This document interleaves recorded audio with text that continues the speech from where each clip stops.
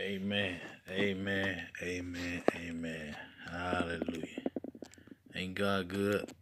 Ain't the Lord good? Amen. Amen. Hallelujah. Thank you, Jesus. Yes. Thank you, Lord. Thank you for being so good to us, God. We appreciate you, God. Thank you. Hallelujah. Amen. Amen. I just want to come before you, amen, in the spirit, amen, and talk to you a few minutes, amen, about God's unspeakable, about, about God's unspeakable gift. Amen. That's what I want to talk to you about for a few minutes. Amen. Listen, I don't want you to start cringing. Amen. I don't want your flesh to start drawing, drawing all up. Amen. Amen. Amen. When you start talking about giving, amen, your flesh, amen, people flesh start drawing up. They they heart, heart and stuff start drawing up, amen, like a lemon or something, amen. But we got to understand that giving is uh, one of the principles of God. Amen.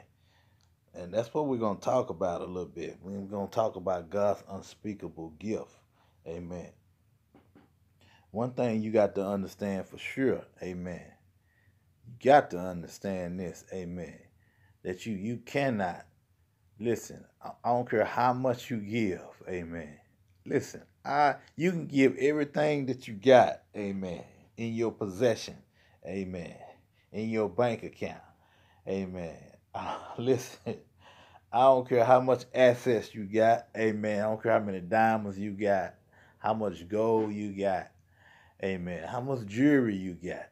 Amen. Listen, I'm going to tell you right now, you cannot beat God given. Amen. And the reason why you can't beat God given is because of his unspeakable gift. Amen. Listen. Amen. We're gonna we're gonna read we're gonna read some scriptures. Amen. I ain't gonna be before you long. But I got to get you to see, Amen, God's unspeakable gift. Amen. We got to quit being so stingy. Amen. Amen. When we see a person in need, we got to be able to extend a, a helping hand. Amen. Amen. And be sensitive to the Spirit of God. Amen. A lot of times God be telling us to help individuals and we don't do it. Amen. And we don't do it. We we we listen. We don't listen to the Spirit of God. Amen. A lot of times we, we look we look at a person's appearance, amen. Amen. And we don't we don't we don't give to that person like we should. Amen. We got people out there that need clothing. Amen. You got people out there that, that need a meal, amen. That you pass by every, you might pass by a person every so often, amen. That need a meal, or somebody might even be, might even walk up to you, amen, and ask you for something, amen. Or the Lord might tell you to give a person something, amen, and you don't do it, and you don't, and you do not do it, amen. We got to quit being so stingy, amen, as people of God. Listen, we, we listen. We got so many people out there giving to them false prophets. Amen. They get them. Listen, they get them men and women, women of Satan. Amen. Everything that they want and whatever they need. Amen. When they ask for it. Amen. Amen. We got to start start giving. Amen. When the Holy Spirit is telling us to give. Amen. We're gonna read some some scriptures. Amen. You're gonna have to understand. Amen I had to come into a real, realization. Listen, I, I listen. I can't. You can't beat God given. Amen. God has already given you more than you can ever give out. You hear what I said? I'm gonna say that one more time. God has already given you more than you can ever give out. I'm telling you, for as long as you live, I don't care how much you give, God has already given you more than you can ever give out. Listen, and we're going to listen, we're going to talk about, amen, for a few minutes, amen, this unspeakable gift. God is so good, amen. You cannot, I'm telling you, you cannot be God given, amen. And giving is still, amen, one of the the, the, the principles of God. Amen. As people of God, amen, we have to learn how to give. Amen. Not only do we need to learn how to give, some of us we need to learn how to receive. Amen. Some of us, amen, we have a problem, amen, receiving, amen. Listen, I don't care how much I don't care how much money you got. Amen. You uh, listen, you still need to learn how to receive when somebody want to bless you with something. I see people all the time. Somebody is trying to bless them with something. Amen. Just because they doing all right. Amen. Or that they living have living a comfortable life. Amen. And they don't really need too much of anything. Amen. Listen, because of pride. Amen. They not willing to to accept a blessing from uh, one of their brothers or their sisters in Christ. Amen. Or anybody for that matter. Amen. You got to be able to to give as well as receive. Amen. Some of us we got so much pride. Amen. So much pride. Amen. You got to learn how to receive. Amen. You got to learn how to receive when somebody wants to bless you with something. Amen. Because you know it, it leaves a, a wrong impression uh, on the individual that's trying to bless you with something. Amen. They know you being stubborn and stiff neck, stiff neck. Amen. And know you're full of pride. Amen. That you can't accept a blessing from a brother or a sister in Christ, or for whomever, amen, for that matter. Amen. God is good, amen, to us all the time. The Lord is good. We got to be able to receive as well as give. I'm going to be reading out of Second Corinthians. Amen. Second Corinthians chapter 9. Amen. God is good. Amen. He listen, he good all the time. Amen. Remember, we're going to read uh, starting at verse 6. Uh, 2 Corinthians chapter 9. I'm going to read from starting at verse 6 on to the end of the chapter. Amen. It says, but I'm, we're going to break it down uh, probably per verse. Amen. It says, Remember this he who sows sparingly and grudgingly will also reap sparingly and grudgingly. And he who sows generously will also reap generously. Amen. And, and with blessings. Amen. The Bible said, Whatsoever a man soweth, that shall he also reap. Amen. So if you listen, listen, if you if you sow uh, uh grudgingly, amen, meaning in your heart, amen, you really don't want to give it. Amen you really don't want to give it. I'm gonna tell you the best the best thing for you to do is to keep that thing. Amen. If you want to give grudgingly out of your heart to a person, amen. You know, some of us can have some of the nastiest attitudes, amen, when we give something to somebody. Amen. Cause we listen, we listen, and we don't really want to give it to that person. We make faces and and everything. I, I listen, our whole being and, and, and organs inside of our body just tighten up. Amen. It just tighten up. Amen. We can be some listen, we could we could be nasty. Amen. Sometimes. But we got to learn how to give generously. Learn how to give uh uh because God, you gotta understand, God is looking at your heart. Amen. He's looking at your heart more than he's looking at what you're giving. Amen. You got to understand that.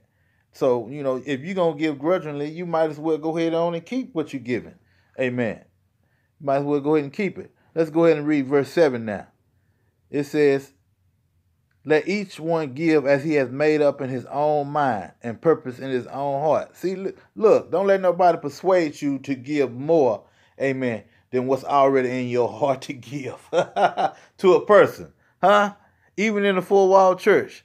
Huh? Don't let nobody persuade, because a lot of times they want to persuade. They, they'll persuade you to give more than you want to give. But you got to remember that God is looking at your heart Amen. Huh? God is already looking at what you have purpose in your heart to give. Huh? So make sure you're not being persuaded to give something, amen, that you don't want to give. Because you're going to end up giving that thing grudgingly. Amen. And it's going to mess up your harvest. Listen, it's going to mess up your harvest. Huh? Because God is looking at how you giving. Amen. Let's read that. Let's read that again. It says, Let each one as he has made up in his own mind. In his own mind. Listen, not in your spouse's mind, huh? Or in your children's mind, or in your neighbor's mind, but what, what you have made up in your own mind and purpose in your own heart, not reluctantly or sorrowfully under compulsion. For God loves, huh? For God loves a cheerful giver. Huh? See, when God, listen, when you give, amen, God wants you to be, He wants you to be cheerful in your heart. Amen. He wants you to want, amen, to give. Amen. He don't want nobody to push you or persuade you or to knock you over the head. Huh? To be able to give to somebody. God wants you to give because that's what you love to do. Amen. That's what you love to do. Huh? When you find out how much God has given to you, you listen, listen. When you find out how much God has given to you, you're not going to have a problem giving, amen, to somebody, amen, that you see on the street, amen. Huh? Or, or, or to somebody in your household, amen. Listen, when the Spirit of God is telling you to give, amen, listen, don't don't tighten up. Huh? Don't tighten up. Give like God has directed us to give according to the scriptures. Amen. That's what we got to do. Amen. Let's look at it. Let's look at it. Let's look at verse let's look at verse 8. this is good. I like this. Amen. It says, "And God is able to make all grace." Huh? And God is uh, maybe is able to make all grace come to you in abundance. So so that you may always have in and under all circumstances whatever the need may be, huh, enough to require no aid or support or furnish in abundance for every good work. See, God gonna make listen. If you do, if you do, do it the way that the scriptures say do it. Amen. Don't let nobody force you. Don't let nobody persuade you. And make sure your motive is right, your intentions are right, your heart is right. Amen. Listen, and you you're cheerful. Amen. Huh? You want to do it. You you're happy to do it. You're glad to do it. Amen. God is gonna make sure that you have the resources. Amen to continue to bless. Amen. So, furthermore, God is going to use you as a conduit. Amen. But listen, if your heart is stopped up, huh? If your heart is stopped, is stopped, is stopped up re- with reluctancy, huh? And if it's stopped up, if you're grudgingly doing it, then you're stopped up. Then God is not going to be able to use you as a conduit. Huh? This is how God is able to get more resources over to you. Amen. Huh? See, because God is putting things in your hand, amen, so that you can help somebody else. That's one of the things we got to quit. We listen, we got to quit being so stingy. Amen. Because God is blessing you and He's blessing me, amen, to be able to help somebody else. Huh? Everybody, listen, everybody don't want your money. Huh? Everybody don't want your money. Huh? See, sometimes it's not even about money. Amen. Spend some time with somebody that need time, that somebody that need time uh, to be spent with. Amen. Huh? Use some of your talents and, and some of your gifts, amen, to help somebody else. Amen. You might have something in your house that somebody else might need. Amen. That you really don't need. Huh? We got look, we got we got we got shoes and all kinds of stuff stacked up to the ceiling. Amen. That somebody can, can probably use. Amen. Huh? You could you could carry uh, two or three pair of shoes in, in your car. Amen. You see somebody that might need a pair of shoes. Amen. You can offer it, it to them. You'll be surprised who who you run into. Amen. That can wear them shoes and that need to wear them and that need them shoes. Huh? We got so much. Listen, we got so much junk piled up. Amen. In our closets and, and, and everywhere, all in the attic and in the garage. Amen. We listen. We don't even need that stuff. Amen. God has put something in your hand, amen. And, and listen, you just holding on to it. Huh? You just holding on to it. God is want, want, want to use us as conduits, amen, to bless somebody else. Amen. Huh? See, when God puts something in your hand, it's, it's not always for you to hold on to it. Huh? Huh? Listen, when God puts something in your hand, it's not for you to always hold, hold on to it for yourself. Huh? When God puts something in your hand, it's not necessarily for you, it's for somebody else. Huh? But God is if you do what God tell you to do, what the Spirit of God tell you to do with the things that He He gives you, amen. Huh? With the resources that He's giving you, amen. Then God can continue to, to run his blessings through you as a conduit. Huh? Amen. Amen. This this is good. This is some good stuff. I like this. Amen. Amen. Let's, let's look at verse 9. It says, As it is written, He he scatters abroad. As it is written, he scatters abroad. He gives to the poor. His deeds of justice and goodness and kindness and benevolence will go on and endure forever. Verse 10 says, And God, who provides seed for the sower and bread for eating, will also multiply your resources, sowing and increase the fruits of your righteousness, huh? Which which manifests itself in active goodness and kindness and charity. Huh? And God who provides seed for the sower. See? That's what I'm talking about. If you ain't no sower, then God ain't gonna give you no seed. Huh? Listen to what I said. That's what not I ain't said, that's what the scriptures say. Huh? It said he provides seed for the sower. If you ain't no sower, then that's probably why you ain't you don't have no seed. Because you don't sow. You stingy. You don't like to sow into people's lives. Amen. You don't like to help your neighbor. Huh?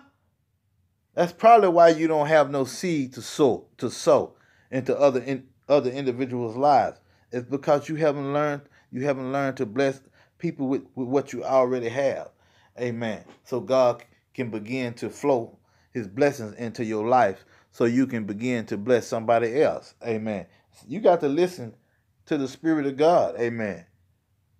And you you got to know what you already got, what God has already listened. I, I told you a while ago, God, you ain't gonna be able to outgive God. Amen. Huh? You're not gonna be able to outgive God. Huh? You, listen, you, you ain't gonna be able to outgive the Most High. I'm telling you that right now. Okay, let's look at verse. Let's see what we got here. Yes. See, listen, you're gonna have to learn how to be a sower. Amen. We all need to learn how to be sowers. Amen. It said, thus, let's look at verse 11. We're in Second Corinthians chapter 9, verse 11 now. It says, Thus you will be enriched in all things and in every way, so that you can be generous and administer and administered by us will bring forth thanksgiving to God. Let's look at this.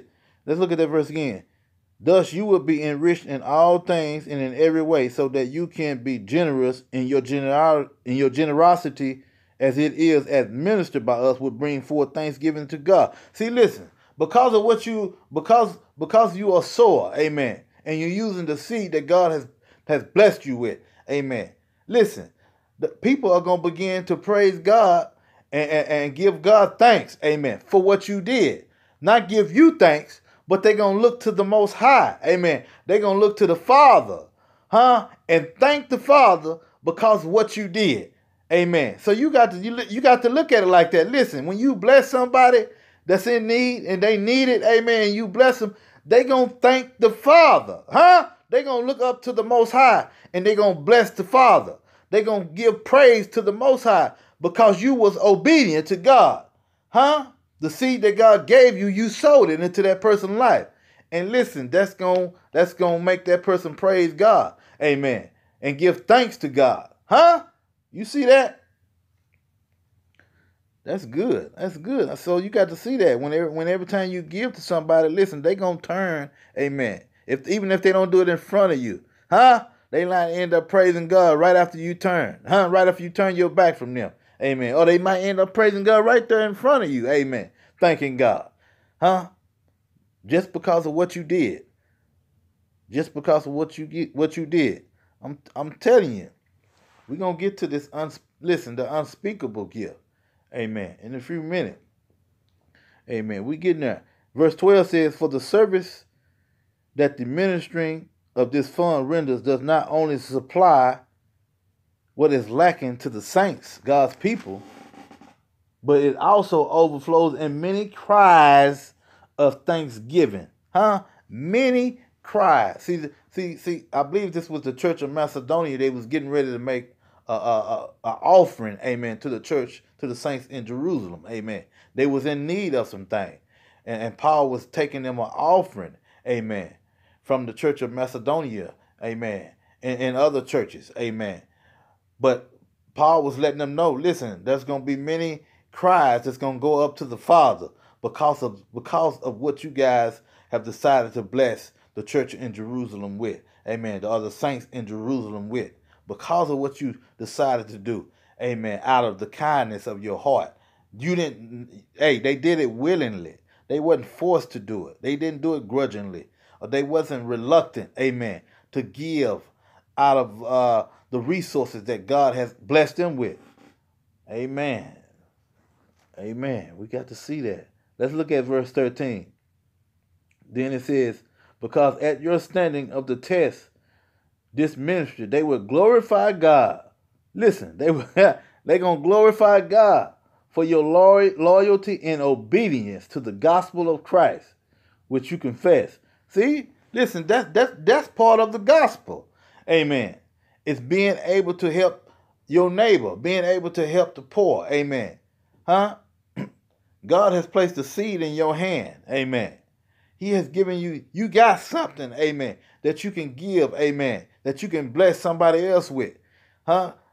See, that's going to open up, that's going to open up a con- conduit, amen, for God to be able to continue to flow uh, uh, seeds into your life that you may be able to bless somebody somebody else. We got to understand that God is the source.